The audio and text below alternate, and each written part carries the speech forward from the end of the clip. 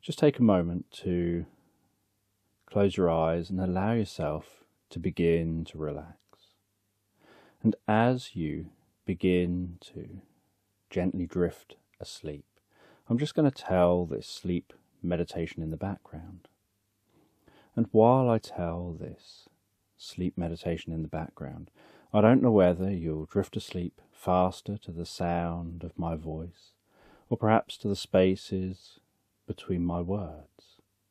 And as you begin to comfortably drift asleep, you can have a sense of climbing a mountain. And you're climbing up that mountain towards a monastery that you can see way up high up the side of the mountain. And as you near that monastery, you keep pushing on, increasingly motivated, the crunching snow beneath your feet, the feeling of the cold air on your ears and your cheeks. And you can notice a slight numbness setting into your fingers. And at this point, that numbness is just a comfortable numbness. Your fingers are well gloved, but just enough cold is getting through to make them feel a slight numbness, just enough to remind your fingers that you're climbing in the cold. And yet, despite that slight numbness in those fingers, you can continue climbing, and it just helps you to be aware that you're undergoing this challenge. You've been working really hard up this mountain, striving to get to the top, and this journey hasn't been easy. But that hasn't led to you quitting. You've continued to climb higher and higher. And now that monastery is in sight. And that spurs you on, motivates you to continue your journey. And as you continue that journey, getting closer and closer to the monastery, so you notice some figures walking around outside the monastery you see that there are some monks just roaming around the outside, each one looking like they're walking in such a measured, purposeful way. And so you watch while you climb at the way they seem to so purposefully be walking around the grounds of the monastery. And as you arrive at the monastery, so you pass through an archway and almost as soon as you've passed through that archway, and the wind seems to die down, seems to calm right down, and your body feels warm from the effort of climbing. And yet, those hands still feel a sense of the cold, a slight sense of numbness. And as you touch the hair that's touching your forehead, to move it off your forehead, and your fingers gently touch your forehead. You can feel the coolness from those fingers gently moving around your forehead. And because your face and your head is quite warm from all that effort, all that hard work of climbing the mountain, it really accentuates the coolness from the fingers. And you feel that coolness, that almost a blue numbness gently passing around the head, so comfortably cooling the head and the face, helping you relax, helping your breathing calm down, helping you feel a sense of peace and tranquility and you walk among the monks, and you're searching for one specific monk.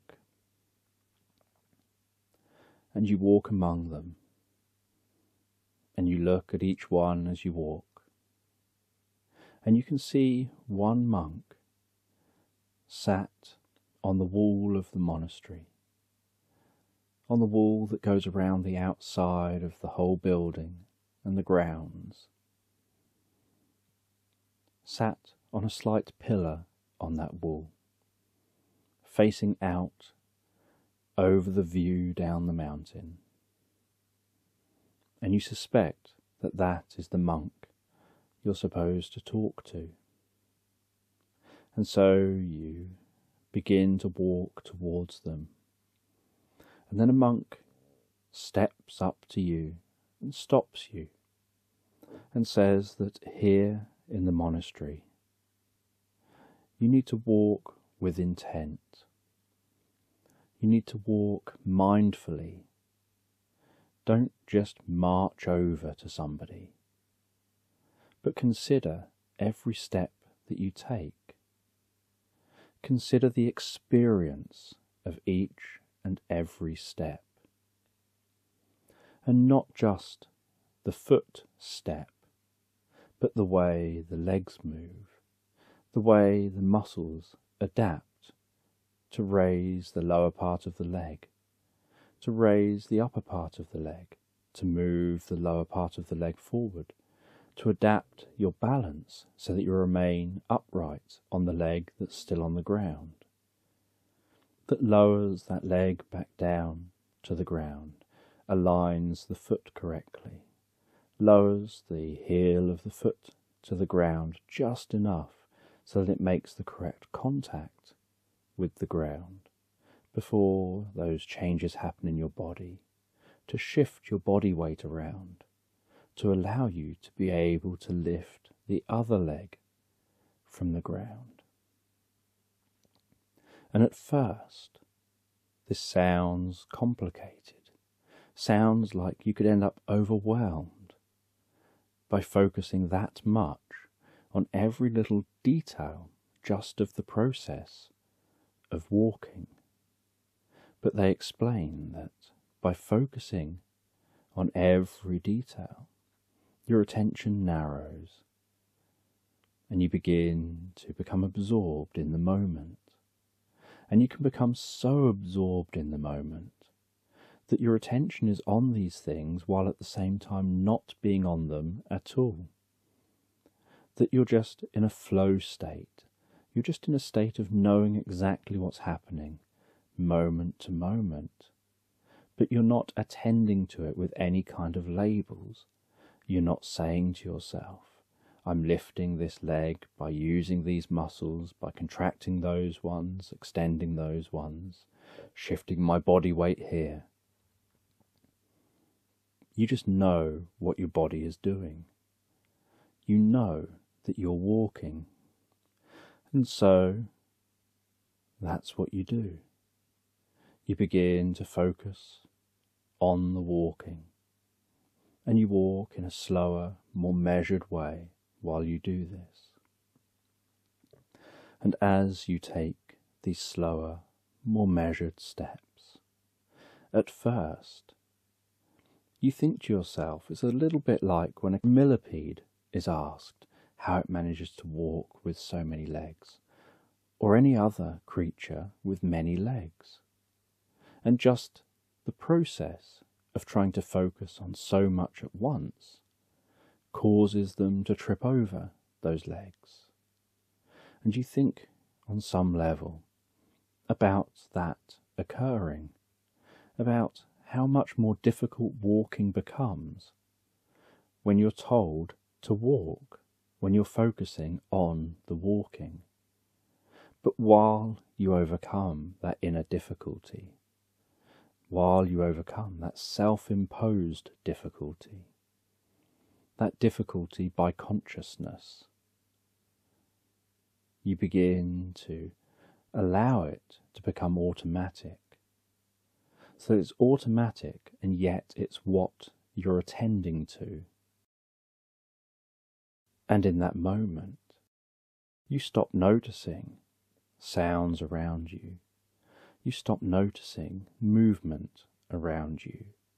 You stop noticing the sky. You stop noticing trees gently swaying. You just notice the experience of walking. And you almost feel in a strangely blissful state. A state that can perhaps start in your stomach or your chest, that can spread out, filling your arms and legs, and spread around your head all the way down to your feet, almost like a tingling blueness spreading throughout you, almost sounding like a million gently swinging tiny bells, twinkling one after the other, creating an almost sparkly tingle around and through your body of those bells making that sound. And as you continue walking, you almost have this sense of tiny sparkling bits of light emanating from you, as if somehow you're in your own time, separate from the external time, walking closer and closer to that monk, feeling at one with the moment, like in your experience there's no past, no future, there is only now.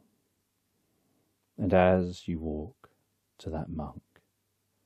So the monk turns to face you.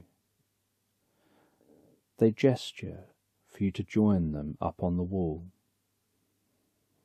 And so you climb up onto the wall. You sit down in a similar position to them, making yourself incredibly comfortable. And they tell you to just gaze off at that distant golden eagle that's circling overhead.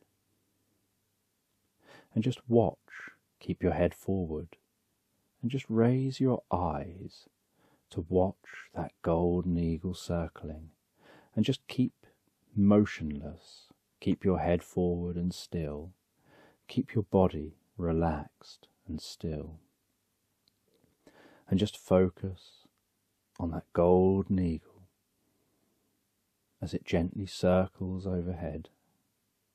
Focus on the experience of the eagle. Focus on the movement, not just of the wings, but of every single feather and every single strand on the feather, and how every feather has a role to play in helping that golden eagle glide so gracefully and effortlessly, and allowing your attention to be drawn into that, into the sound that golden eagle makes while flying, by the way the wind moves over and under its wings. to the sound of its beating heart, to the sensation of its moving neck, to what that eagle can see gazing down over the landscape, what it can feel as it passes through different bits of air, and how some air can raise it up and in other locations it can naturally lower down. And give all of your attention to that golden eagle. And so, as you do this, as you give all of your attention to that golden eagle, what you can see, what you can hear, what it would feel like flying up there you begin to almost get tunnel vision here. Everything around your vision begins to fade away and almost turn to black. The monk begins to fade away, the monastery, the surroundings, until all you're aware of is that eagle circling overhead. and then while aware of just the eagle circling overhead. So your attention suddenly snaps to being in the eagle, seeing through the eagle's eyes. And you realize from the perspective of this eagle that everything that makes up that you back there, meditating on the wall of the monastery, is back there. That here, in the eagle, through the eagle's eyes, you don't feel, see, or hear anything that that you back there on the monastery wall sees, hears, or feels. You just feel a floating, flying, relaxing sense of peace, of calm, of stability.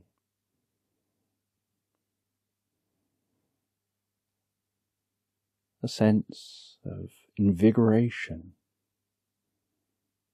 at your experience and a hyper focus and a complete lack of awareness of that you back there and the experience of being that you back there on the monastery wall. And you allow yourself to fly as this eagle, to be going along for the journey, almost like a shared consciousness, like you're a consciousness in the mind of the eagle while allowing the eagle to carry out its own actions.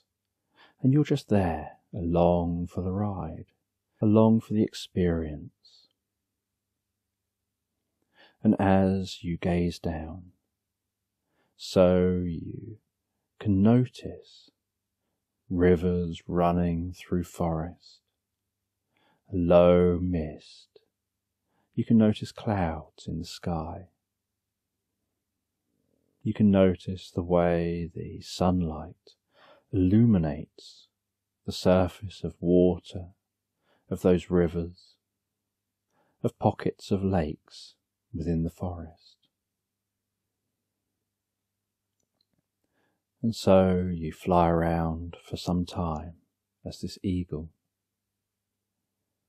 gliding, feeling so effortless, so free free from the feelings of that you back there on that wall. And then you have this sense that although you can't hear the monk talking with you, you feel like the monk is talking with you, like somehow they're helping to guide your experience and you begin to have this experience fading away of flying with this eagle. But you find that your experience doesn't drift to the you sat in the monastery. Instead, it drifts down into that forest. And you find yourself darting and buzzing between the trees. And you realize, as you hover over an area of water, that you can see your reflection. And you notice that you've turned into a green fairy. And you dart down near the water and skim the water, creating slight ripples in that water, leaving a wake of sparkly light behind you everywhere you go. You fly up in the sky, you weave between the trees, and you realize that among the trees here in this forest seem to be many fairies and many other creatures you may never ever have seen or realized were here. And as you fly, you have this sense that it's a bit like you've got a hummingbird being carried on your back. Just that sound of the buzzing wings. Just the way that they allow you to make maneuvers that not even the most proficient fighter pilots could ever make. And you decide to test out what it's like being a fairy. You fly as fast as you can. You realize your senses are heightened, that you're able to respond rapidly, weaving between trees and branches. And then you slow down. You relax down onto a branch and you gaze out through the forest. And while you relax there, still gently beating your wings, just keeping yourself on the spot, just helping to remain stationary, you're creating a slight mist of sparkling light that's gently beating from your back and slightly surrounding you. Before you dart off out of that sparkling light and head down to the grass on the edge of the forest. And you wonder why you're having this experience. You've gone from being in an eagle flying high in the sky, to being this fairy. You wonder if, as a fairy, you have the power to grant wishes or do any magic or do anything fun, but you don't know how to do those things. So you try to think, what would a fairy do? And you wave an arm while making a magic spell that you just think of off the top of your head. And as you do that, you see the most unusual creature, a donkey with the head and neck of a llama, walking past, eoring like a donkey. And on its back is a tiny little almost like a little person. And you head over and find that it's almost like a small troll that's riding on the back of that llama. And they say hello, and they seem incredibly friendly. And you wonder what else could be done with magic. You're trying to make a horse appear but instead you had a donkey with the head and neck of a llama, ridden by a troll. So you try again. And again you want to try and make a horse appear. And you wave a hand and click a finger, and you hope this time it'll work. Only this time, suddenly, a moose walks past that seems to have a clockwork switch on its back. And that clockwork switch seems to be ticking along and turning as in a very rigid way that moose walks past. And you decide not to try again and you wonder what it is you're doing wrong. And then you hear a voice in your mind. You realize it's the monk. And you realize they're probably talking to you while you're sat on that wall. And that voice tells you you're overthinking it. You're trying too hard. You're trying too hard to be something else rather than being yourself. You're trying to do magic as you imagine magic would be done. And that magic isn't done as you imagine it would be done. It's done as you instinctively do it. And that the only way to perform magic is to be magic. Magic isn't something you can do, it's just something you either are or you aren't. And you don't really grasp this at first. And you walk over to the edge of a lake, your wings gently beating behind you. And you pick a small little yellow flower as you walk towards the edge of the lake.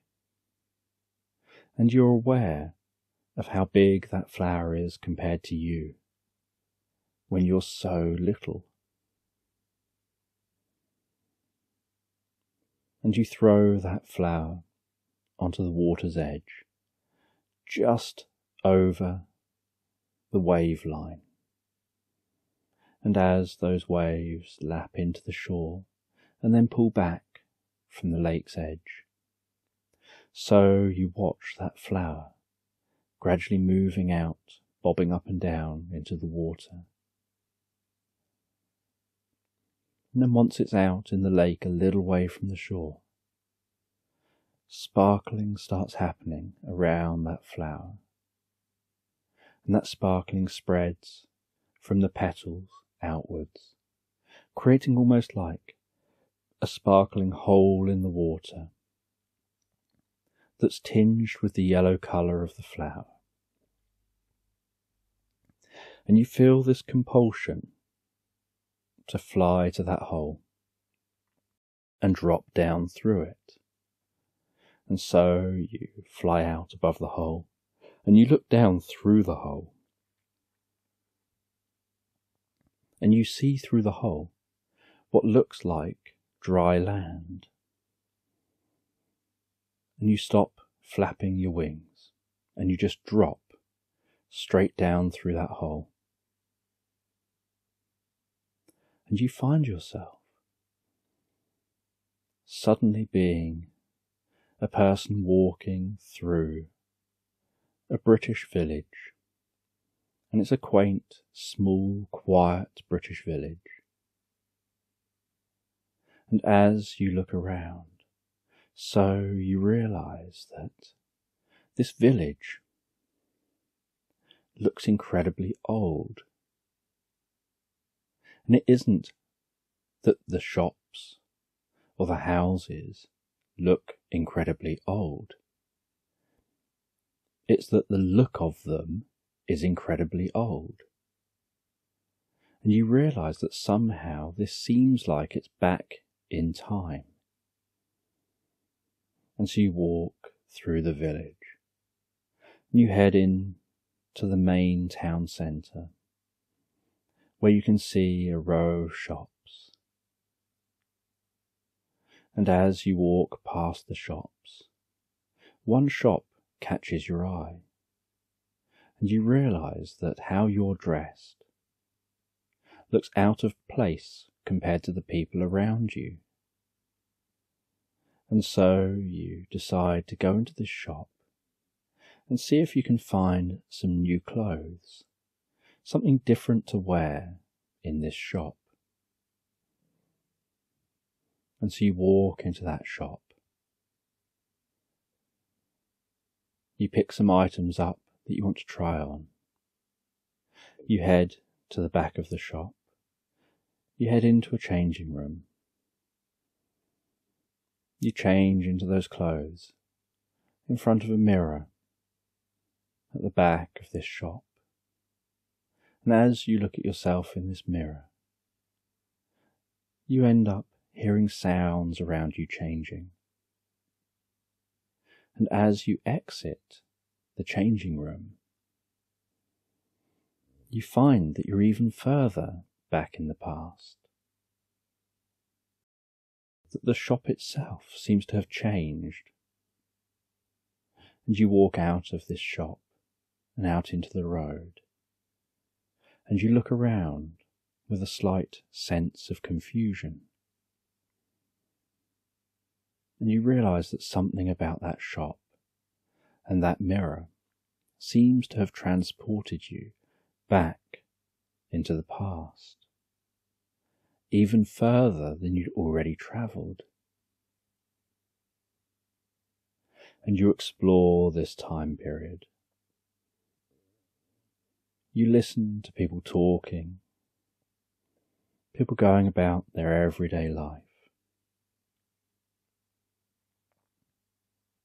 And you head down to the nearby river. And you walk along the edge of that river, and you can see that there's a water mill along the edge of this river. And you head to that water mill, and you can hear the sound of the water wheel spinning, the mill turning, and you can smell the smell of flour. And nearby the mill, you notice there seems to be a bakery, and you can smell that smell of freshly baking bread.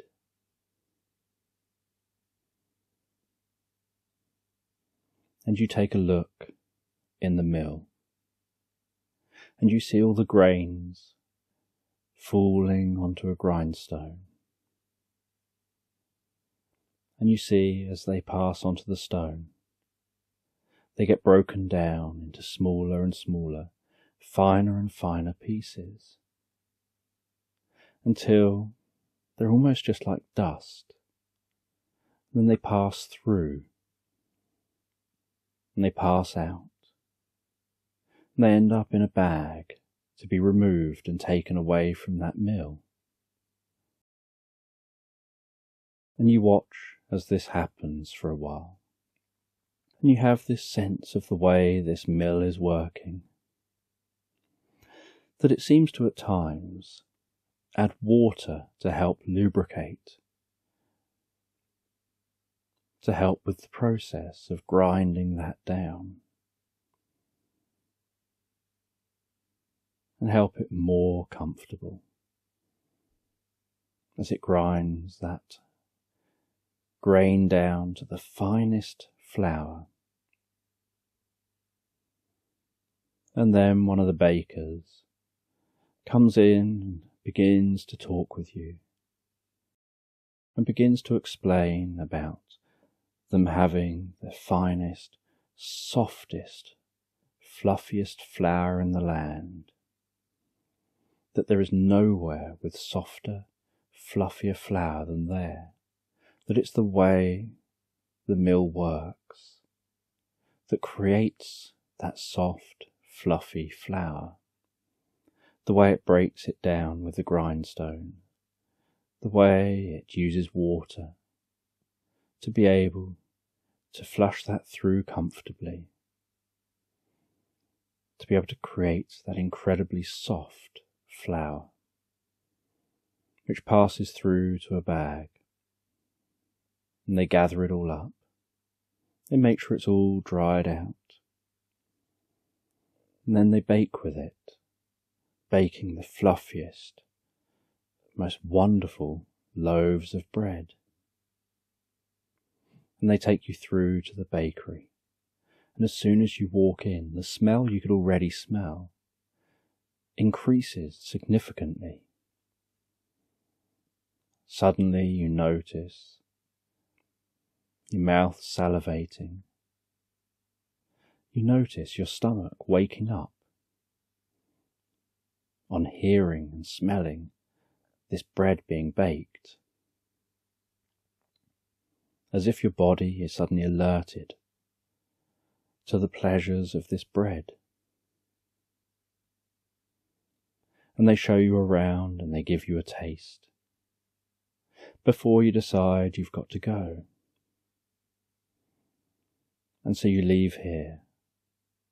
You walk back towards that shop, and you have this instinctive feeling of knowing what you need to do. And back at the shop, you change back into those clothes. And as you change back into your normal clothes in front of that mirror, and you leave that changing room, you find that you're back in your own time. You're back in the time of the clothes. Except you're here in England. That you're not back in the time that you entered the shop in. You're back in your real time.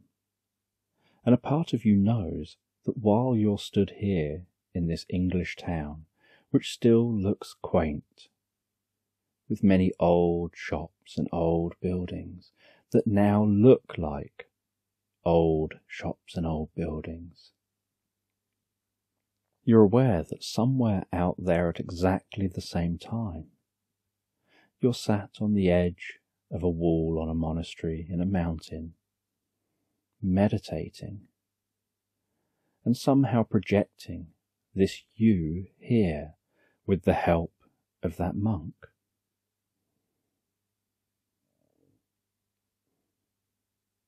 And you walk through the town, you walk back down to that river. You find that there's only the remnants of that old bakery and the old mill. That it's now a footpath along the river, and there's a cafe there now. And you head to a park, and you sit in the park for a little bit, watching people playing, watching people walking their dogs watching the way the shadows of the clouds gently pass across the grass. Curious what this experience is teaching you. You came to the monk to learn, to discover yourself, to connect deeply with yourself and with the world around you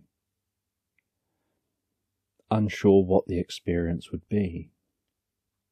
And the only criteria was that you had to show motivation, dedication.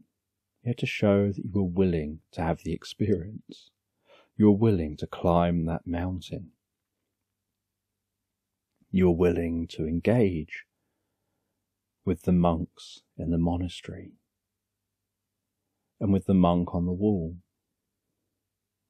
and then trust that monk enough to allow yourself to experience what they guide you to experience.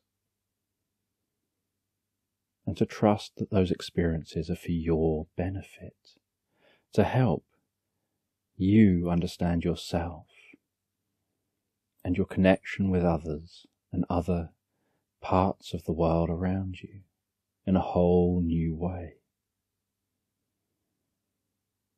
And as you realize you're beginning to deeply understand, you begin to have a sense of the wind on your face. And you start feeling like you're sitting on that wall. And then you start to be aware of your body and notice how incredibly comfortable your body feels sat here. That it's as if somehow you are here, and yet you've left behind those parts that you wanted left behind. A bit like taking all of the blocks that make something up and reforming them, putting them back together to something that looks very similar and yet is slightly different. Or in the same way that throwing a stone into a pool of water changes that pool of water so that it's no longer the same as it was before, and yet to anyone else who looks at that pool of water, it'll look the same as it's always looked. They'd be unaware that a stone was thrown into that pool of water. that the water level is ever so slightly higher, that everything was moved because of that stone sploshing into the water, passing to the bottom. All the atoms in that water carefully moved and jiggled about and changed places because of the stone. And yet only the person who threw the stone in would know that. And the monk climbs down off the wall and starts to walk towards the monastery. And you can tell from the way they're walking that they're walking with intent. And you begin to follow. And you follow the rules that you were told earlier. And so you begin to walk with intent. And you walk into that monastery where it's suddenly peaceful and incredibly quiet, with just the slightest echo from the footsteps of the monk and from your footsteps as you walk into that monastery. And the monk turns and guides you down some steps. And the monk says there are ten steps, and they descend into the dark. So it's best that you count your way down so as to safely walk to the bottom, and that you'll go deeper into the monastery as you do. And things will become increasingly peaceful in that deeper chamber under the monastery. And so you begin to descend those steps ten, nine, eight, going deeper and deeper down those steps, descending into the monastery, counting your way down as you go. Seven, six, five, four, three, with everything getting quieter and quieter around you. Two, one, and then hearing a slight echoing of the first footstep on the floor in this chamber, and then walking in the dark through this chamber, following where you feel the monk is walking. And then after a few moments, you notice the monk has lit a torch and then used that torch to light a flame. And with that flame lit, so this chamber becomes illuminated. And as this chamber becomes illuminated, so you notice the incredible mosaic on the floor, the repeating patterns where when you look at one part, it looks like one pattern, and then as you zoom in on that pattern, you notice that it just repeats to a smaller and smaller scale, looking almost exactly the same, as if the same type of pattern is present, but looks subtly different. And so a part of your attention is drawn to absorbing yourself in that pattern, in following the pattern from the largest scale down to the smallest scale you can observe, and then back out to the largest scale again, and then back down to that smallest scale. And next to the flame that the monk lit is a bowl of water and the monk places some rose petals in that water, and as they float on the surface of the water, so they begin to give off the most beautiful rose fragrance. you can just have a sense of wafting into your nose. And the monk tells you to put your hands in the water and gently pat your face with that water. Pat the water over your forehead. Close your eyes, pat the water over your eyes. Pat it gently on your cheeks, on the side of your temple.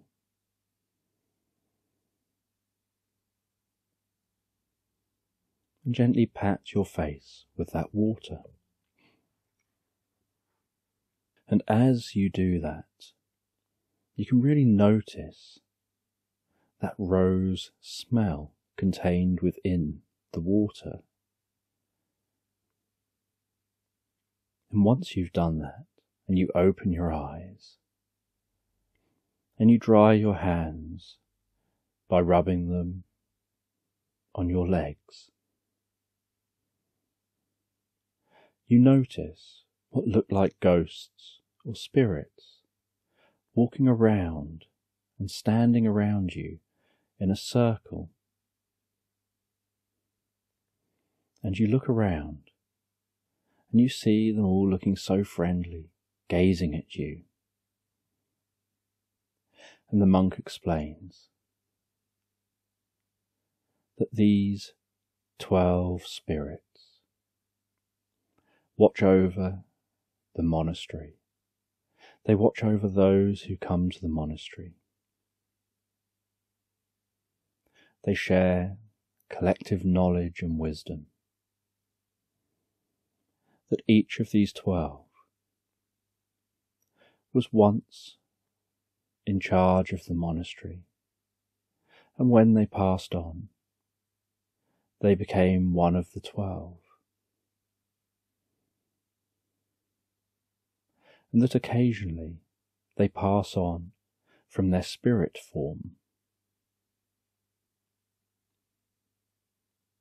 But they only do that at a time that there's another one of the monks to take their place, so that they can maintain at least twelve of them to be able to offer their collective knowledge and wisdom of all of the techniques strategies they've learned, all they know about connecting with the world around them.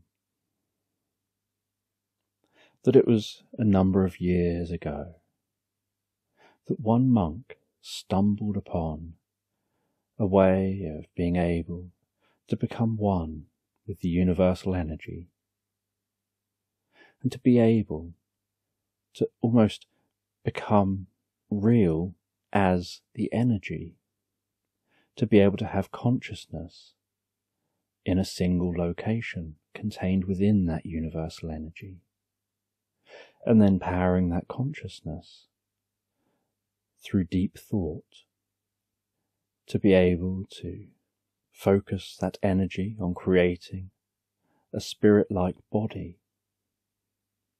and that they realize that they can connect with the past, the present, and the future through this universal energy that was there at the beginning of time and will be there to the end of time.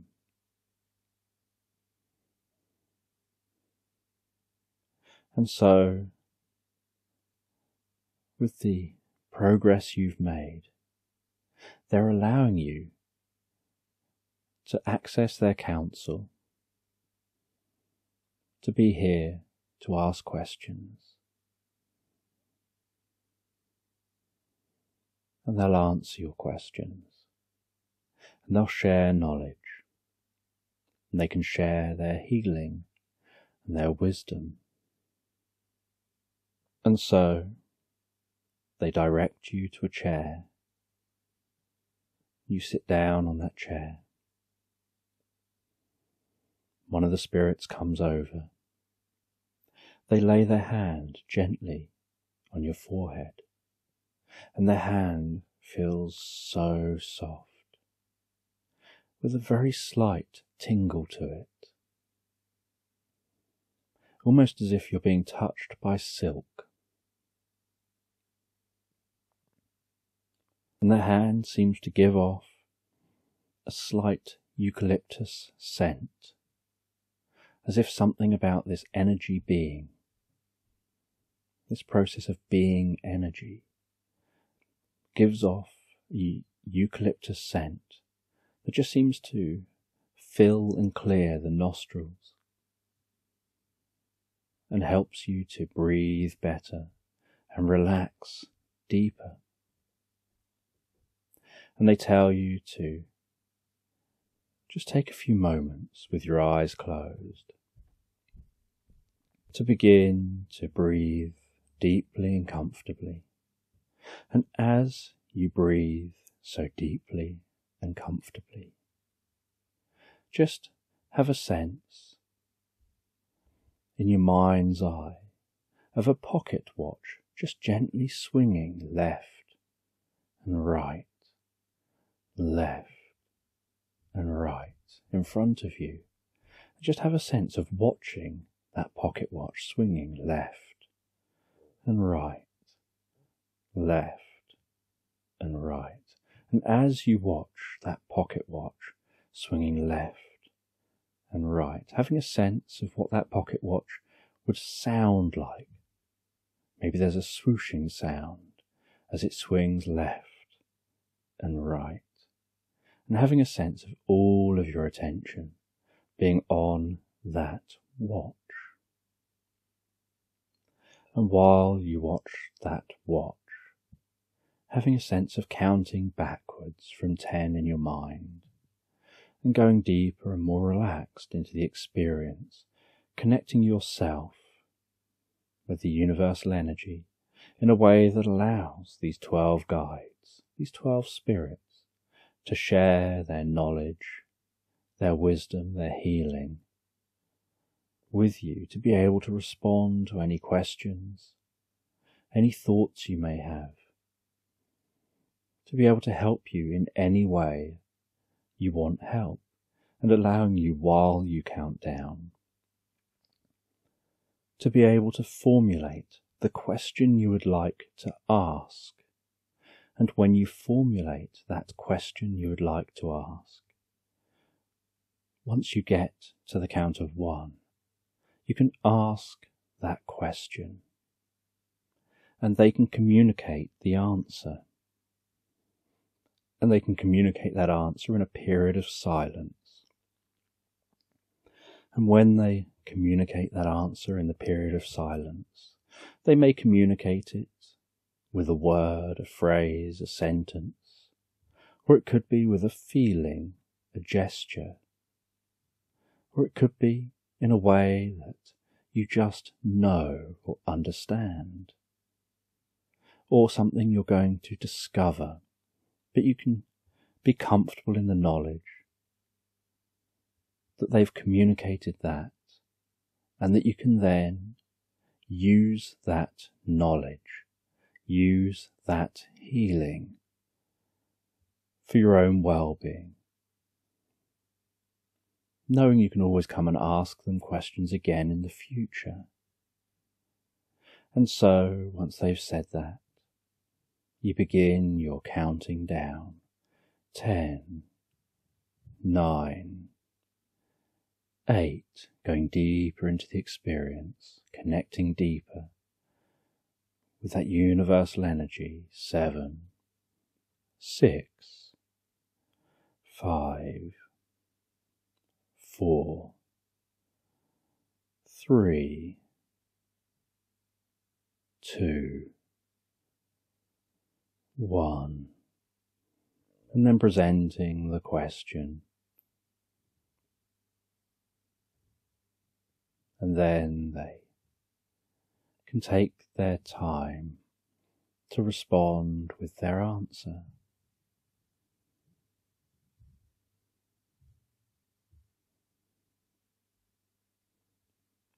And then you'll know on some level the answer has been received that their all knowing knowledge, wisdom, insights, and healing are able to be used and transmitted back to you at this time. Even if you forget later what it was, and what it is, and what it shall be.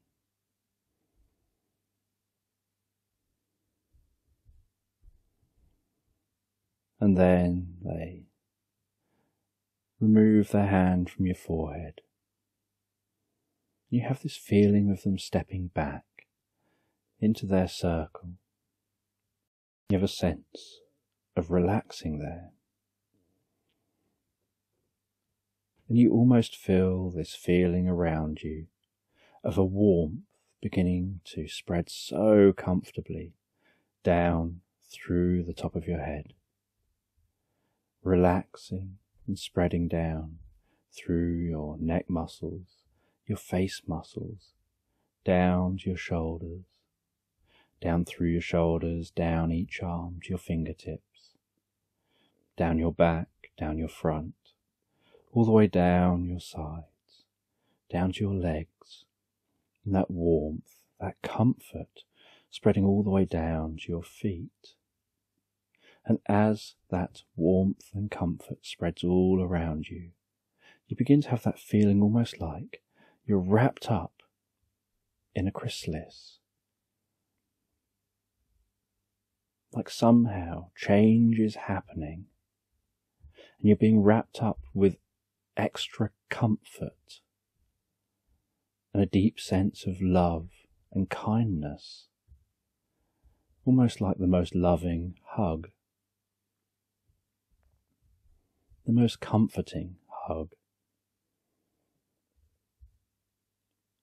That gradually, very slowly, begins to release itself as you have this sense almost like you're unzipping and stepping out of a sleeping bag.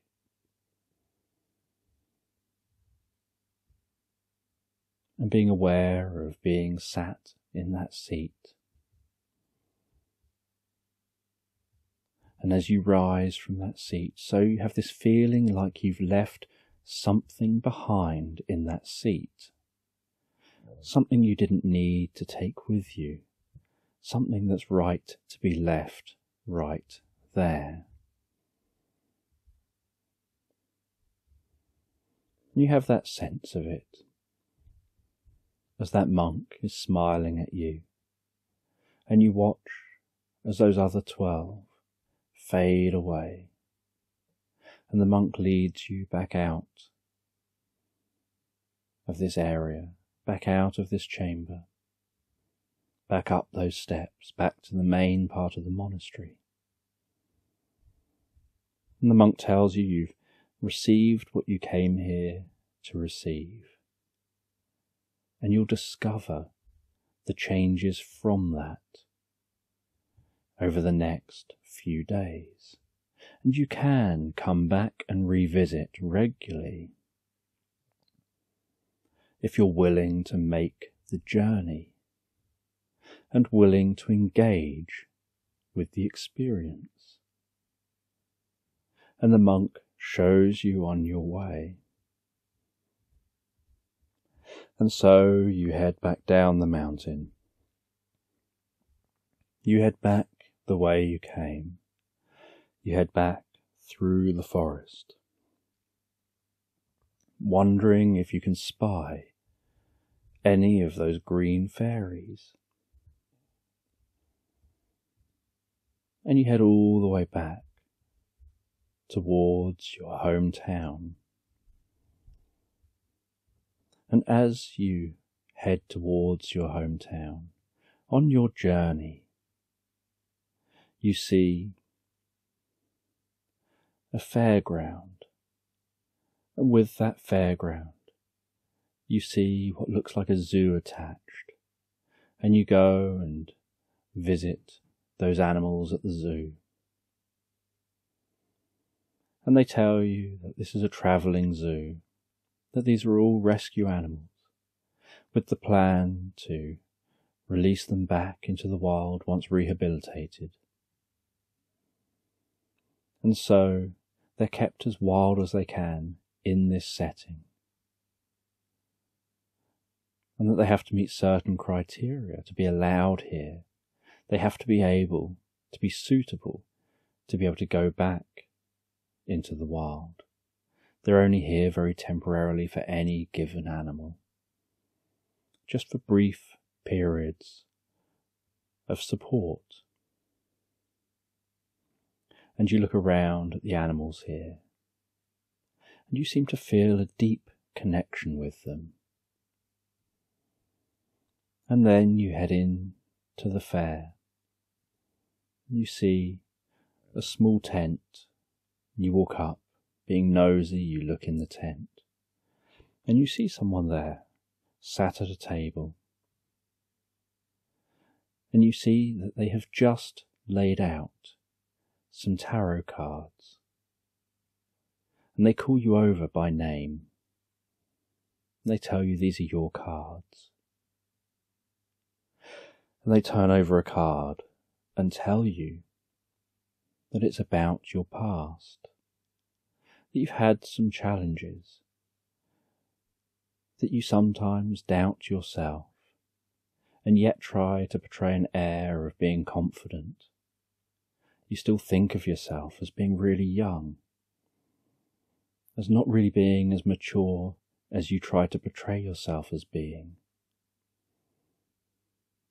That you really try to fit in, but find that it can be a struggle at times. And that sometimes people will tell you that you appear really confident. And you may smile, and you may pretend to agree, and yet internally you worry that that's not actually you. That you're the same person inside your mind that you were when you were much younger. You haven't grown up with your body that the person you see in the mirror is different to the person you feel like inside. And then they turn over the next card and they tell you that this is your present. And as you look at that card and listen to them talking, they tell you that you have worries you have things you'd like to achieve and don't know whether you can succeed. That you have a dream that you'd like to follow, but are unsure where to start. And that it's hard sometimes to find the motivation to be able to start that thing you really want to do.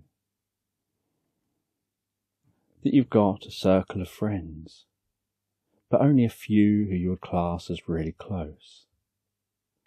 And that you'd really like to sometimes have a few more friends, or even just that one friend that's just right for you. That you do have some great friends, but not necessarily that one special friend.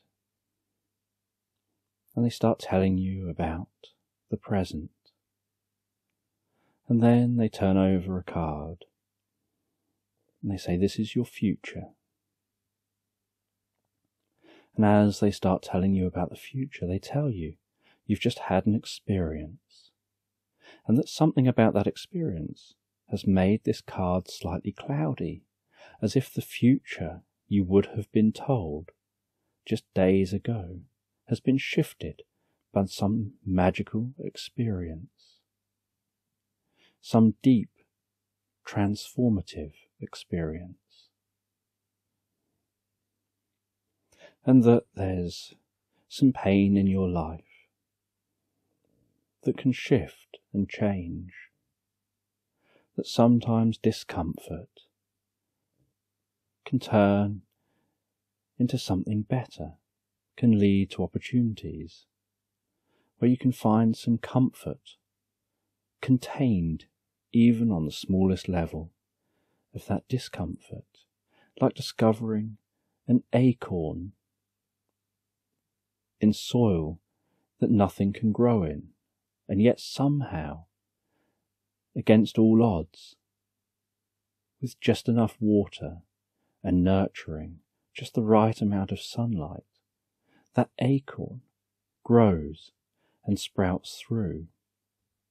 And somehow, despite everything trying to eat it down, everything coming over and trying to trample it, it manages to survive, manages to bounce back, and grow taller and taller until it's too tall to trample, it's too tall for a rabbit to come along and nibble at it and eat it down. And it grows taller and taller. And while it's growing taller and taller, it faces many storms and is able to survive those storms because it just flexes and bends in the wind until it reaches a size where it's able to dig its roots in so deeply that in dry periods its roots are so deep they can still find water. In windy times its roots are so deep it remains upright. And it stretches and reaches for the sky and lasts so gracefully with some scars on it caused by its journey, some scars from lightning, some scars from fire, some scars from droughts. Many scars that show off the life that this tree has led, and yet here it is with the most beautiful, perfect green leaves, stretching to the sky, burrowed deep under the ground, giving life to the surrounding area. And they tell you that this is what that third card means for you. And they hand you that third card. And you turn the third card around and you look at it. And you see on that card a dove flying with a twig in its beak, with the view of an ocean in the background, and some distant islands, and some wispy clouds. And you leave this tent, placing that card in a pocket. And as you leave the tent and turn around, you find that the zoo and the fair seem to have vanished, and where they were is now just empty land. And you're curious about that. You continue your journey home. And on arrival home, you have the most comfortable bath with some candles that you light dotted around the bath. And you put the matches off to one side, relax yourself down under the bubbles, smelling that fresh pine smell given off by the candles. listening to something relaxing in the background, feeling the warmth of the bath, the tickling of the bubbles. And after deeply relaxing in the bath, you head to bed. You settle down in bed. And as you think about the experience you've had, you begin to drift and float comfortably asleep. You begin to dream about that oak tree. You begin to dream about sitting in the tree, feeling the bark beneath you, touching the bark with your hand, feeling this sense of almost like by touching the bark of the tree, you connect on a deeper level with nature and almost sense a communication between the tree and yourself. And scurrying along one of the branches, you see a squirrel heading over, stopping, looking over at you tentatively, heading a bit closer, flicking its tail a few times while it stops, perching up on its back legs, holding its paws up in front, sniffing a little bit, heading a bit closer, gradually feeling a sense of deep trust for you. Until eventually it comes all the way up to you, rests down on your lap, and lets you pet it gently, feeling its fluffy tail, feeling the warmth it gives off through its fur. Forming that relationship with the world around you as you comfortably and relaxed drift and float asleep.